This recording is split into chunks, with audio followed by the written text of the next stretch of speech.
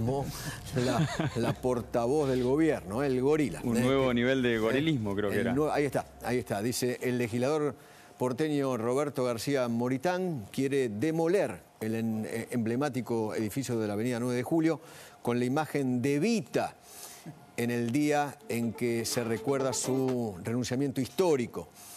Desbloqueó el nivel superior de gorilismo. Ah, la pucha. Eh, así que está García Moritán al tope del gorilismo en la República Argentina. Lamento mucho haberlo ¿eh? ofendida, pobre portavoz. Ah. Que, que, debe, la debe haber afectado mucho porque no está hablando ni de la pobreza, ni de la corrupción, ni de temas judiciales ni, cosas importantes que nos importan a los argentinos. Está hablando de un par de oficinas, así que debe ser muy importante para ella. Mostrame otra vez el tuit porque acabo de descubrir otra, otra cosa.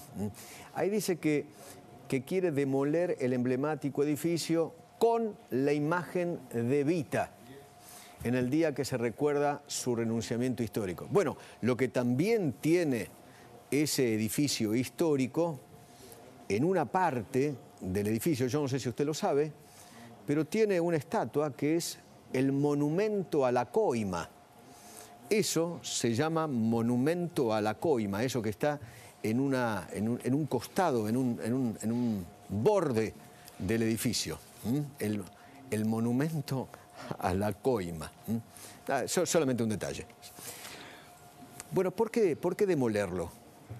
Eh, lejos de tener un, así como quieren tratar de hacerlo creer, una, realización o un motivo ideológico, es un sentido práctico. Yo soy ciudadano de la ciudad de Buenos Aires, tengo un comercio ahí, voy a la legislatura, el tránsito es imposible en la ciudad de Buenos Aires, hay que empezar y animarse a llevar a la, legislatura debates sobre cuál es el tipo de ciudad que queremos, de mínima una ciudad donde por la 9 de julio podemos transitar, que es una, arteria fundamental que conecta el norte con el sur de la ciudad.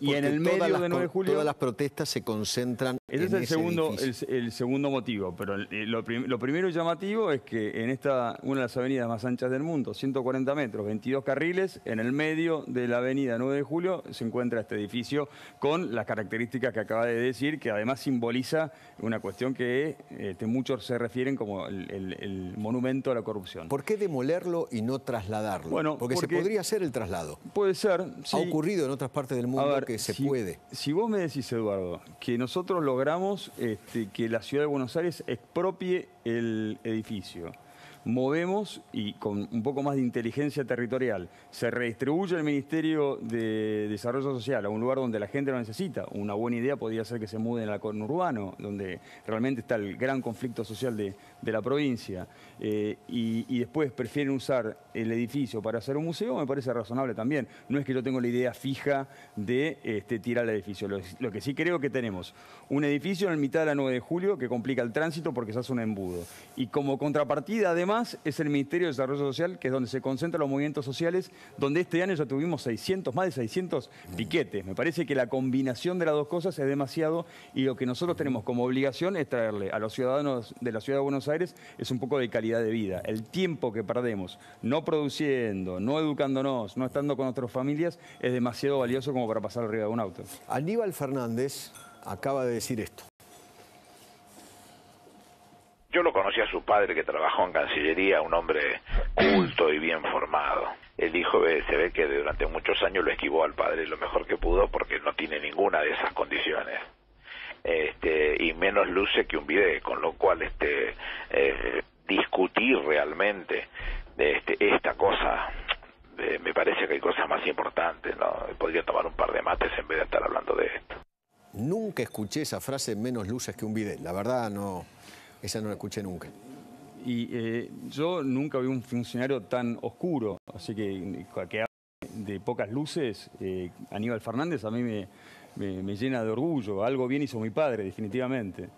Em, lo que proponemos acá es un debate que salga un poco de la idea de seguir dando planes o seguir reprimiendo.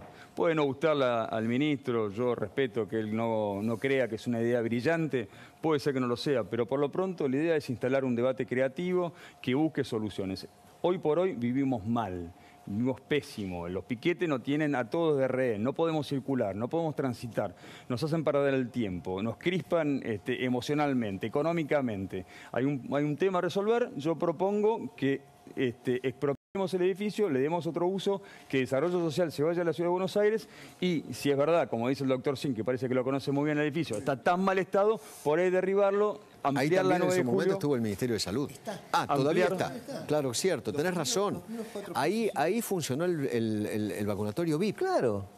En el segundo piso de ese lugar vacunaron a, la gente al vacunatorio. Lo conozco bien ese edificio, muy bien. Funcionan los dos ministerios. Los dos ministerios. En la mitad del edificio, la primera mitad del Ministerio de Salud, el resto del Desarrollo Social. Claro. Por supuesto, habría que pedirle al Avisote que se corra, porque no sé cosa que tiene el edificio con ella adentro, pobrecita, obvio.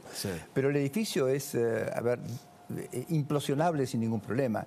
Más allá de, consideraciones de otro tipo, lo cierto es que no es un edificio que esté en condiciones. Tiene una circulación pésima, ascensores que eh, hay que hacer cola para subir. La verdad es que no es el mejor edificio para tener dos ministerios en el mismo lugar con, esa, digamos, con, esa, eh, con, esas dificultades para poder circular dentro del edificio.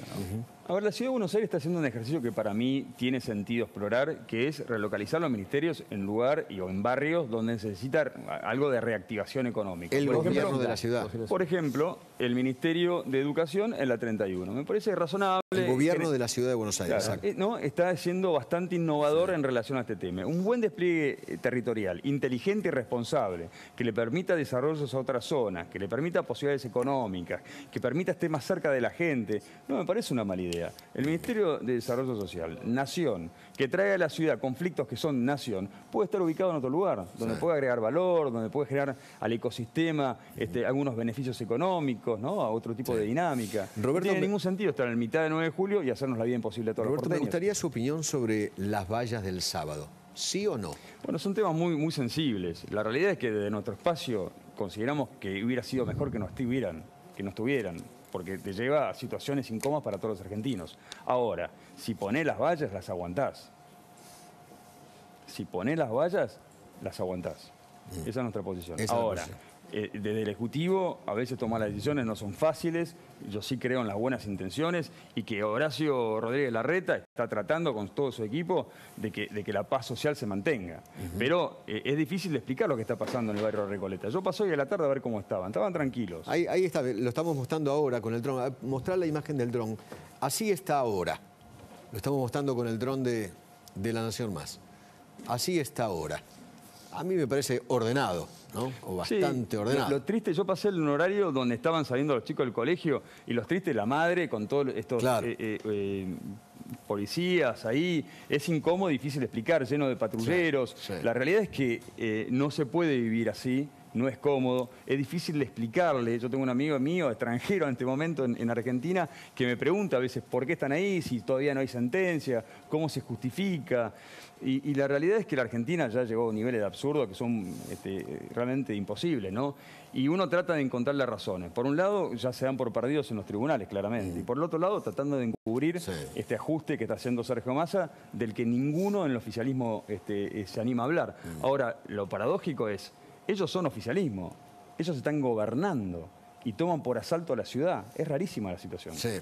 Sobre la autonomía, que ahora la volvió a instalar la, la, vicepresidenta. Son, todas divisiones que a ellos les sirven, ¿no? Les sirve el Para distraer para distraer, importante. A ellos les sirve el conflicto. O sea, el kirchnerismo se nutre, se alimenta del malestar, de, la pobreza, de la crisis, de la violencia, de la división.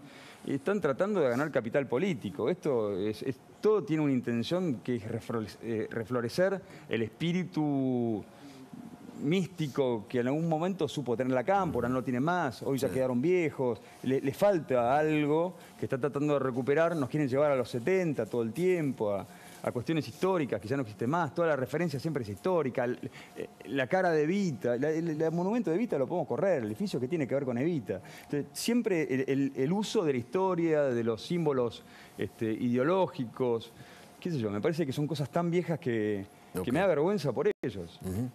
Eh, a ellos les sirve, bueno, polarizar, pero a vos también, ¿no? Te sirve eh, quizás provocar. Vos sabés que con este proyecto estás provocando y a vos te sirve para, para tu electorado también. A mí me sirve proponer debates alternativos a lo que venimos haciendo siempre.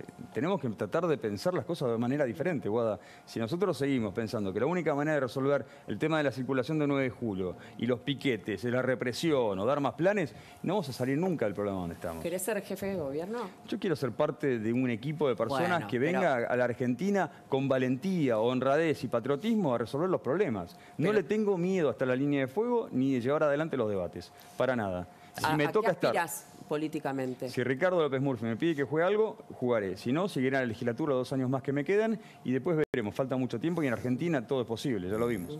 Roberto, ¿la pifió con el dólar a 400? Si la pifié, Estuvo cerca. A ver, 350 y pico. Sí, arañó, arañó. Daba la sensación de que. la verdad es que yo no soy ningún gurú, no soy un misías, no quise hacer predicciones. Lo único que quise avisar era que si siguen haciendo el desastre que estaban haciendo, podía terminar en lo que está terminando, nada más. Que las medidas económicas este, eran un fracaso, que el populismo no funciona. Vos podés hacer populismo en un país rico, no en un país pobre. Esto era eh, venía y caía de Maduro quise avisar que realmente todas las decisiones que estaban tomando eran en el camino equivocado y nada más. Y te puedo decir una cosa adicional a todo esto. Lo lamento mucho. Porque no es el dólar el que está subiendo, es el peso nuestro que no vale nada. es la jubilación de nuestros abuelos, es el sueldo de, nuestros trabajadores, son los ahorros de los argentinos. Esto trae inseguridad, pobreza, malestar. Eh, yo creo que, es, una tragedia que suba el dólar de esta manera. Gracias, Roberto, por venir. ¿eh? Muchas gracias, Eduardo, por, invitarme. Muchísimas gracias. Gaby Yesi. Edu, eh, acaba de conocerse, recién justamente mostrábamos imágenes del dron de La Nación Más en la esquina de Juncal y Uruguay. Ahí estamos viendo nuevamente. se acaba de conocer que junto con la recusación que se promovió días pasados contra el juez Gallardo, la ciudad acaba de interponer un recurso de reconsideración y apelación de subsidio. ¿Qué es esto? mientras los incidentes del sábado se desarrollaban, Juan Grabois presentó, promovió